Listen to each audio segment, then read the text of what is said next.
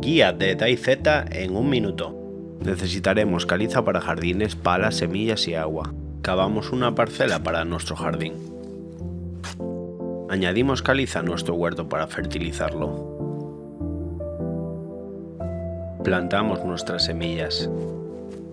Podemos plantar distintos tipos de semillas en el mismo huerto. Con una botella de agua nos disponemos a regar las semillas.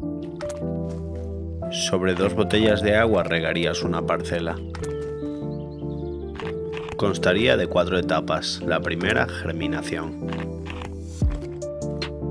Segunda etapa, crecimiento. Tercera etapa, floración.